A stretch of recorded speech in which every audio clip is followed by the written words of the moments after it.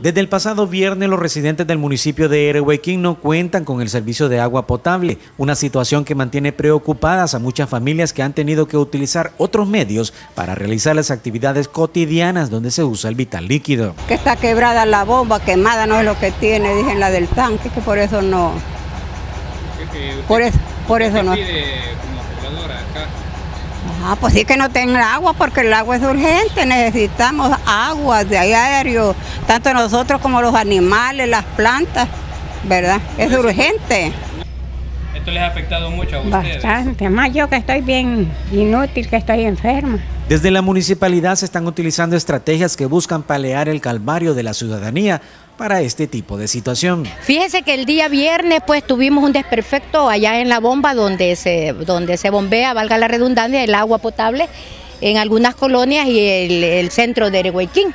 Desde esa fecha, desde el sábado, estamos enviando el agua a la familia de donde más afecta este problema del agua y estamos dándole a todas las familias. Desde el día sábado hasta este día andamos regalando agua ya que se dio un problema de un desperfecto, ¿verdad? Mecánico que pues eso no lo controlábamos nosotros. Sin embargo, han surgido quejas sobre la potabilidad del agua que está siendo suministrada por medio de pipas a la ciudadanía como parte de los planes de la comuna. Y el agua que traen nosotros no sabemos de dónde, porque yo he observado cuando ya el agua está sentada tiene unos gusanitos finitos como que son de animal muerto y unos delgaditos finitos, no es cabezones. Unos dicen que le traen de bomba, pero ¿de cuál bomba lo van a traer? Lo que hasta Usulután baño, no creo que le estén regalando el agua a, las bombas de allá.